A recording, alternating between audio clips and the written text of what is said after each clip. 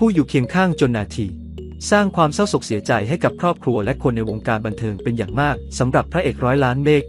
วินัยไกรบุตร ถึงการเสียชีวิตอย่างสงบเมื่อช่วงกลางดึกที่ผ่านมาหลังต่อสู้กับอาการป่วยจากโรคตุ่มน้ำพองมาหลายปี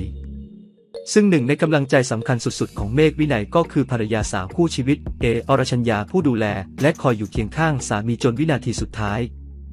และเมื่อได้ย้อนกลับไปอ่านบทสัมภาษณ์ของเออรชัญญาเมื่อทราบว่าสามีป่วย ราะโรคดังกล่าวเจ้าตัวเคยเผยไว้ว่า เจ็บแทนได้อยากทำแต่ในความเป็นจริงมันทำแทนกันไม่ได้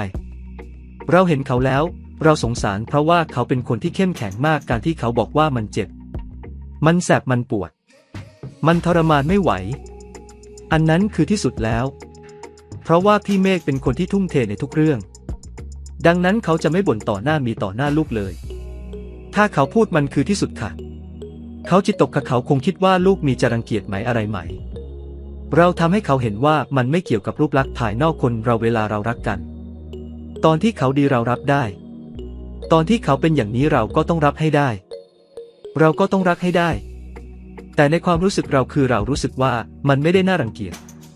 เรารู้สึกว่านี่คือสามีเราดูแลทุกอย่างเหมือนเดิม